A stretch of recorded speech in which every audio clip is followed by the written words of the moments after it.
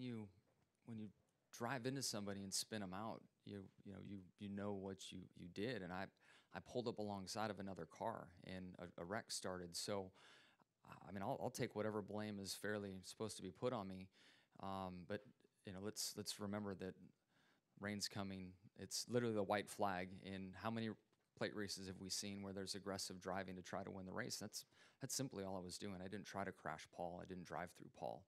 So it, it was a racing incident, and and I'm I'm very remorseful. I'm probably more remorse, remorseful than than any driver in the field when stuff like this happens. I don't I don't crash people to win races. Um, I looked in the mirror and there were a lot of cars caught up in it, and, and I, I hate that aspect of it. So absolutely, I'm remorseful. Um, but at the same time, I had a split second decision to try to win a race. And I, I set up the pass and got position on him clean. And I don't, I don't know what triggered his car wobbling and the, the, accident to start from there.